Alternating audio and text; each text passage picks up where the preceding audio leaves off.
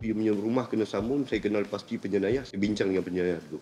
Tengok settlekan dengan you. Boleh?，GISB 控股属下的福利院儿童之家爆出性虐、剥削，并以宗教荼毒孩童的丑闻。警方日前已经从二十所位于雪兰莪及森美兰的儿童之家救出超过四百名孩童。然而，目前还有大部分儿童的父母没有出面认领孩子。全国总警长拉萨鲁丁相信，个中的原因有可能是这些父母并没有合法缔结婚姻。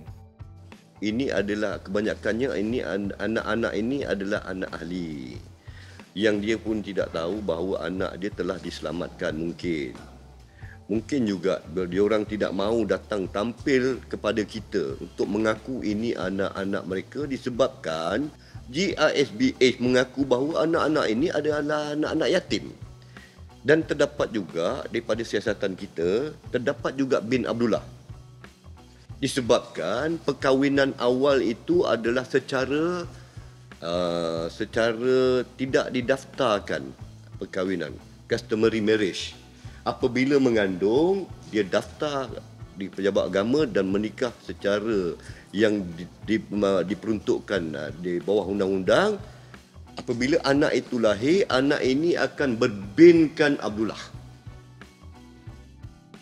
另外，拉萨鲁丁也揭露了这些儿童之家的运作结构，并透露警方将以组织性犯罪角度继续调查这宗案件。Sistem dalam JSB dia ada penjaga kepada kanak-kanak. Penjaga ini adalah ada yang berumur 17 tahun yang duduk di dalam itu juga kakak-kakak dan abang-abang yang berumur 17 tahun. Kemudian pusat ini, pusat dipanggil pusat. Pusat amal ini, pusat amal ini dijaga oleh satu juga abang besar ke kakak besar.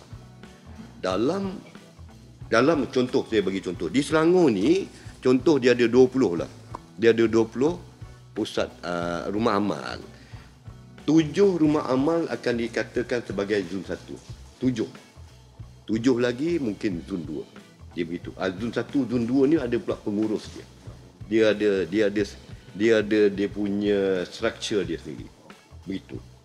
Ha, jadi memang ada penjaga untuk kanak-kanak yang di bawah 6 tahun, 7 tahun ataupun 8 tahun ini oleh kakak-kakak atau abang-abang yang berumur 17 tahun.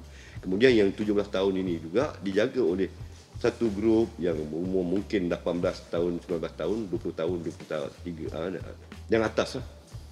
针对较早前 JSB 控股有限公司主席兼首席执行员控诉警方没有与他们讨论，就直接展开逮捕行动，拉沙鲁丁也对此正面回击。Adakah kalau kita menyiasat dan kita nak bincang dan evidence-evidence kita tak ada? Kalau macam tu, you punya rumah kena sambung, saya kenal pasti penjenayah, saya bincang dengan penjenayah dulu. Tengok settlekan dengan you. Boleh? 这起事件之所以引起轰动，除了因为涉及剥削孩童之外，其实也和 GISB 控股有限公司的背景有关。